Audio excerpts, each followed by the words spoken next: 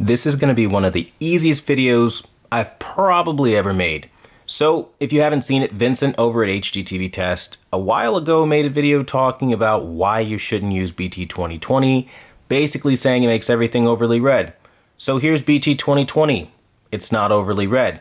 You guys can clearly see in real time it is not overly red. You just have to lower down the saturation.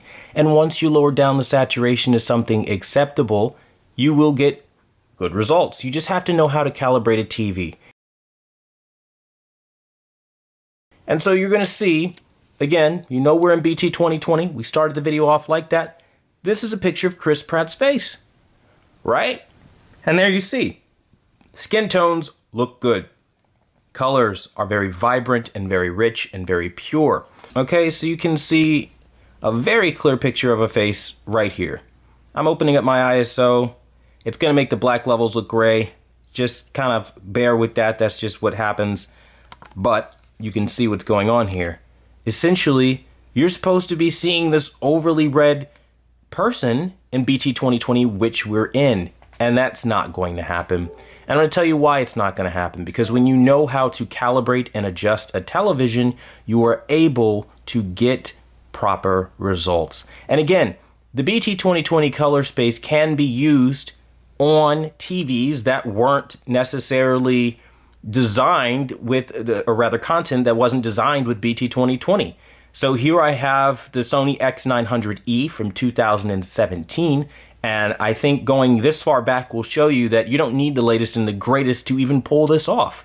This is my way of basically shutting down the ignorance that BT 2020 is just going to make everybody red. You can't get proper skin tones. You're destroying your picture quality. All of this nonsense that you hear on HDTV Test. And, you know, his little choir group of fangirls that's the kind of rhetoric that they'll put out. Now, again, I don't like having to put out other people, but the reason I'm doing this is because I got some pretty nasty commentary from some individuals feeling as though, I guess, I've been shut down or I don't know. Some people, you know, like when people think that they they've done a move, right? It's their ultimate move. They really did something really big in their mind. They act like it. And so you know, I just love putting those kinds of people in their place with facts in real time and showing them, in fact, you've done nothing big, nothing has happened. BT 2020 is extremely usable if you know what you're doing. And the fact that a so-called professional, Vincent over at HDTV Test to be specific, didn't think to use the saturation dials and tone it down a bit just kind of seems a little sus if you're a professional calibrator. Seems more like his attempt, and the only reason he made that video was to try to discredit Quantum TV. I'm showing you now a close-up of a person's face. And you can see very clearly there is no red, there is no color bleeding, there is no there, there is no destroyed picture here. It is very vibrant, very vivid, very natural, color. You can see the hues in her eyes. You can see the makeup. You can see everything as it's supposed to be. You can see these shades as they exist. Now, again, I have to play around with ISO when things get really dark to show you every little thing, so please forgive a lapse of being able to show you maximum dynamic range, but you're seeing very clearly colors aren't bleeding. And I, and I love this because this is demo content now. Now I'm showing you skin tones on something that has been color graded, color corrected in post-production and my settings are still holding up with something that has been color graded for the reference standards and reference accuracy. So for people that have been wondering and maybe watching HDTV test and, and thinking that you can't use BT 2020, I implore you, be creative and try it yourself. If you don't believe me, every single TV can be turned down and to be made to be a black and white television. Here, I'll lower it down because now we are definitely clipping. I see a lot of zebras here. I'll lower it down to where I see a little bit uh, right about there. That's about the dynamic range that you're supposed to be seeing. And again, as you guys are seeing, I'll maybe brighten it up a little bit. It's not quite that dark.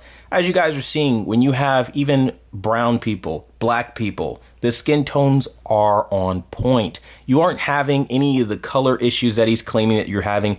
You don't see his skin overly red or destroyed or anything like that. You just see a wonderful looking picture. And and, and I get I get really in my feels over this kind of thing because People like Vincent over at HDTV Test make it hard for regular everyday people who maybe don't have the experience to be creative and to not go out and hire snobbish professionals to destroy their picture by washing it out and making it look flat and bland. And the reality is, I encourage creativity on this channel, and using BT 2020 is the only way you're going to get anywhere close to the kind of settings that I am able to create.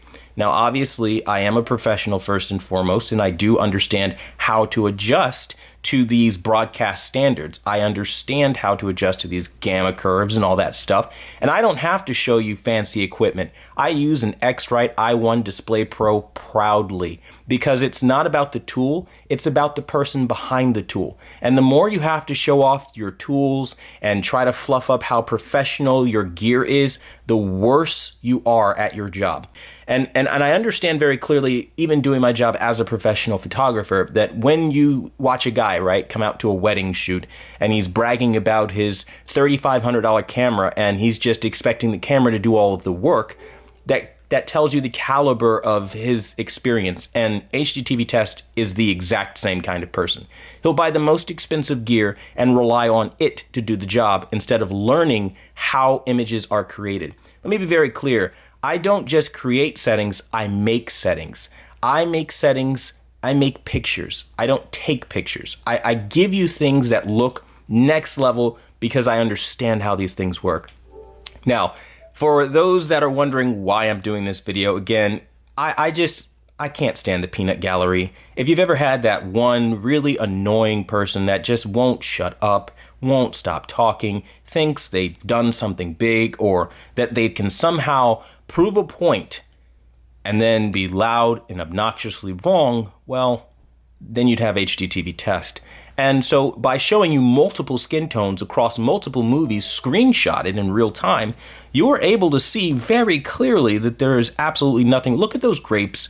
Look at the colors in her hair. If it was bleeding, it would be bleeding over right now. And the reality is you're not seeing any of that because, again, my settings are the best around. And it's not cockiness to say that. I have trained, I have studied, and even now, what time is it right now on my end? It is literally 2:35 right now in the morning, and I am up not only refining my abilities and my skills, but I'm I'm doing everything I can to make sure that when I give content out, it looks the best it can look. I'm showing you images like this to show you even with something that is really red in nature, you can see that again, it's still usable.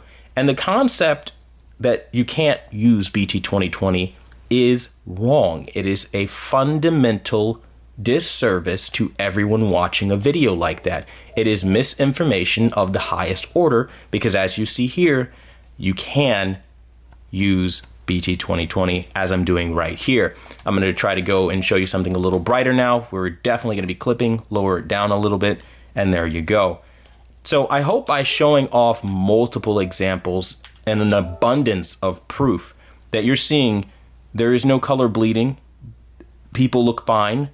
There, I mean, look at his lips. His lips aren't bleeding. His skin isn't overly red. You're not blowing all that stuff out. All of the over dramatics that you're seeing on HDTV test are just that. They're a means to try to discredit me because I keep pointing out that in 2016 he was bought and paid for for cheap. He thanked LG for VIP treatment. So to try to take some of the sting out of reality, he now has to resort to trying to discredit things that you cannot discredit. The reality is yes, BT 2020 is an oversaturated color space when something is made in Rec 709. However, because it is a wider color gamut coverage, and now you are forcing it on 709 content, you are now extending out all of those colors beyond their parameters. So the simple solution is to desaturate that color space back down to normal, but now because you've desaturated it, you maintain all of the benefits of the color space that you are targeting. This is common very common knowledge that any real professional does have and does know. So either Vincent is lying to you about being a professional, or again, he's just pretty pissed off that I keep mentioning that, again, he thanked LG for VIP treatment because he did. So that being said, with multiple skin tones, like I was saying, being shown, this shuts down that argument that BT 2020 can't be used. Everybody's going to be overly red. They're going to look like Oompa Loompas. Everything's going to be ruined. And uh, yeah, that's basically the entire video. So I want to thank you guys so much for watching the number one brand in honesty, where we again just destroy the industry standards with, you know, facts. We just show you in real time and let you see for yourself what it is. So if you have questions, ask them in the comment section down below. And as always, until the next video, I'll see you guys later.